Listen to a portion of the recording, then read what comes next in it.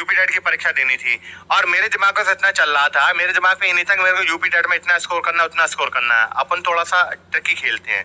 हमारे क्या था, हमारे दिमाग में इतना चला, जिस दिन मैं पेपर में बैठा था, उस दिन मैं ये सोच कर गया था, मेरे को केवल और केवल नब्बे नंबर लेकर के आने ठीक है, मेरा कोई इंटेंशन ये नहीं था कि मेरे को एक सौ आठ, एक सौ दस, एक सौ पंद्रह नंबर लेकर के आने मैं दो सब्जेक्ट तगड़े करके गया था, एक हिंदी था एक हमारा पैडागोजी था, ठीक है? मैथ मेरे को आती थी थोड़ी बहुत इंग्लिश मेरी अच्छी थी, ठीक है? और इन्वायरमेंट में पढ़ता रहता हूँ जीएस वगैरह तो मेरे को आती थी।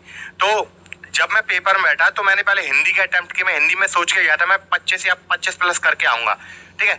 जो भी मैं सेक्शन करते गया, और उनको मैं मैच करता गया कि मेरे सही आंसर कितने हो रहे हैं सही क्वेश्चन कितने मैं अटेम्प्ट कर रहा हूँ।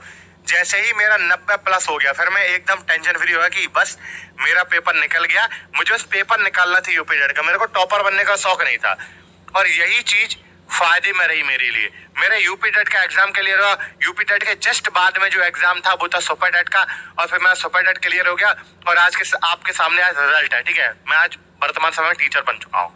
तो यही चीज़ मोटिवेट करती है आपको कि आप क्या थिंकिंग रखते हो। अगर मैं यहाँ पर ये सोच करके जाता कि नहीं यार, मेरे को तो अच्छा स्कोर है, डेढ़ सौ में से कम से एक सौ पंद्रह, एक सौ बीस करने नहीं।